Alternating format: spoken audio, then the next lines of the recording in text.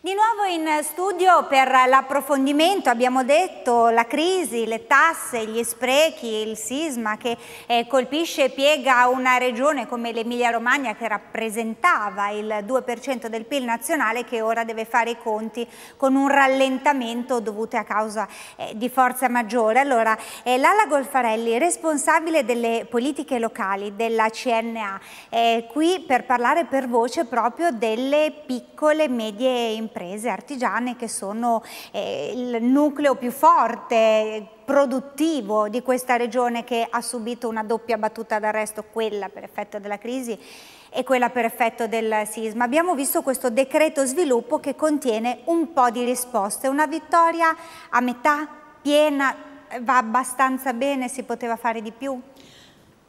Il terremoto ha messo a dura prova tutta la nostra regione e naturalmente è come se fosse capitato un disastro in una situazione che già era in grande affanno per la crisi.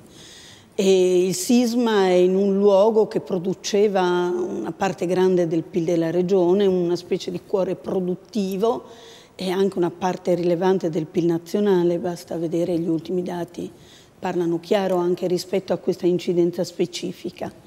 Eh, io penso che noi abbiamo una serie di necessità come eh, associazione delle piccole e medie imprese e come piccole e medie imprese quelle di poter avere delle certezze di eh, ricominciare a poter lavorare sia sul mercato interno che sul mercato estero. E la prima certezza sono i soldi, perché è da lì che certo, si comincia. Allora certo. si sperava forse meno, invece 9 miliardi è di più. Se di parliamo che... solo del terremoto e non in generale del decreto sviluppo, mh, diciamo che sul sisma 9 miliardi sono molti se si pensa che eravamo partiti da 2 miliardi e mezzo certo. e per quello che riguarda invece l'Europa si era partiti da una stima di 250 e si è arrivati in milioni di euro e si è arrivati a 6,50. Quindi la pressione molto forte che c'è stata da parte di tutte le forze sociali, sia datoriali che sindacali che sociali e dalle istituzioni sul governo ha avuto un grande risultato. Devo dire che anche i e parlamentari hanno fatto la... Questo è un dato. Poi c'è il dato, un dato molto rilevante. che sono la scadenza imminente. Diciamo un altro dato che mm. penso sia importante dire anche per, per gli imprenditori. Ancora non erano state chiuse delle possibilità normative che si chiudono con questo atto di oggi, il protocollo e il decreto eh, che è la certezza che ci saranno finanziamenti anche per le strumentazioni, macchinari, eccetera. Questo ancora era eh, incerto, c'erano degli impegni della Regione, delle parole del Governo, ma non si era chiuso.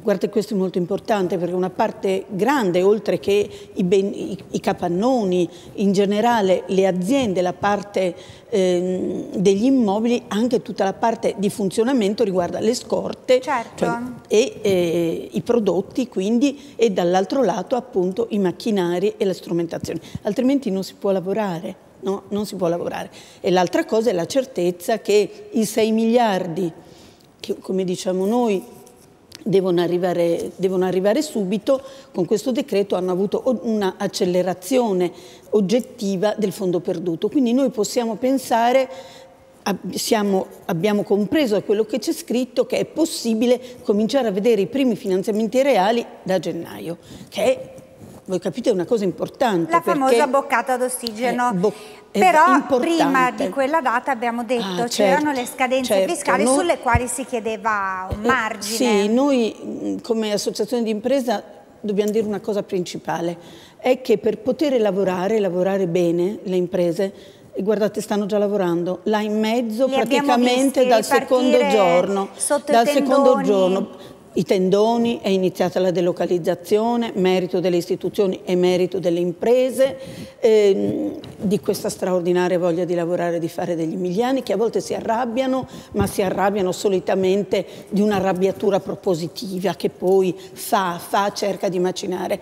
E però un imprenditore e delle imprese hanno bisogno di certezze, cioè hanno bisogno di sapere quando arrivano i soldi del fondo perduto, quando quelli per poter delocalizzare, insomma ha bisogno di mettere una cosa davanti all'altra per poter programmare la ripresa della sua attività, il cambiamento della sua attività in una situazione come questa, nella doppia crisi del sisma e della crisi più generale.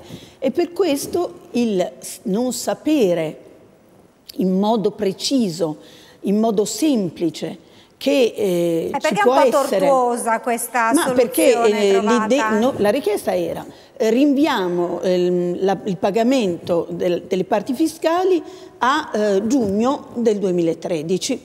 Una domanda legittima, no? Fra l'altro in passato così si è fatto per l'Aquila. questa volta si è trovato questa, questo... questa volta si è trovato un, un meccanismo e io penso che si sia trovato soprattutto per la pressione eh, sfinita del commissario che assolutamente voleva che ci fosse, c'era un patto, un, un, ragionamento forte con le associazioni di impresa, si è trovato un modo per cui di fatto le imprese non avranno questo spostamento ma potranno chiedere i soldi eh, a la fondo perduto che verranno dalle casse depositi e prestiti attraverso il sistema bancario.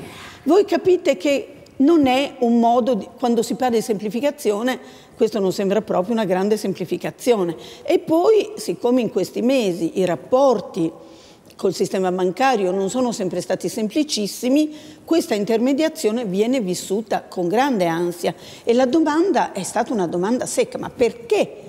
Perché non si è... La risposta è che un, una, una, scelta di quel tipo, un rinvio, avrebbe inciso immediatamente sui conti dello Stato e nell'attuale situazione nella quale l'Italia è... Non ce lo possiamo permettere? No, non possiamo farlo perché i patti sottoscritti eh, anche con l'Europa non ci consentono questi spostamenti. Lei già io, parzialmente mi ha risposto. Io mi permetto di dire sì. che mh, a volte penso che sia meglio essere più severi con tagli di spese inutili piuttosto che continuare a fare cose che mettono davvero in ansia, perché vedete, stare là in mezzo, la cosa che si capisce è che vivendo lì ogni giorno, lavorando lì ogni giorno, buttando il cuore oltre l'ostacolo ogni giorno... C'è più motivazione, rabbia o rassegnazione? Motivazione. Motivazione. Anche la rabbia è una rabbia da motivazione. Propulsiva. Sì, è una rabbia da motivazione, dal voler fare e fare bene e volere che gli altri facciano bene. Questo è l'altro tema, noi stiamo eh, finendo il nostro eh, tempo a disposizione, però volevo chiederle un commento proprio perché lei ha un contatto diretto con queste persone che nonostante siano arrabbiate trasformano la rabbia in una motivazione a, a correre, a rimboccarsi le maniche, a non arrestarsi. E questo protocollo era contenuto in un decreto che va ad incidere sugli sprechi, le regioni vi, eh, trovano eh, l'ingresso, vedono l'ingresso delle fiamme gialle che va a scandagliare i loro conti perché si è evidentemente esagerato anche le l'Emilia Romagna non è il Lazio, però no. anche qui si va a cercare quelle che sono considerate spese eccessive, perché evidentemente qualche leggerezza deve essere stata eh, compiuta. Come vengono viste Beh, diciamo cose? che c'è stata la denuncia di un gruppo consigliare, c'è l'obbligatorietà eh, di procedere alle verifiche no, no, ma per e questo quello, è del tutto normale che ci sia. Faldoni, e naturalmente ci vorrà molto, molto, molto tempo, eh, noi abbiamo la percezione che anche qui si possa, diciamo così, ancora comprimere la spesa per la politica. Fanno arrabbiare eh, questi sprechi, eh, questi soldi? Sì, fanno, fanno da un lato arrabbiare e soprattutto fanno distaccare, questo è il tema eh, perché eh, in questo caso è difficile avere una arrabbiatura propositiva eh.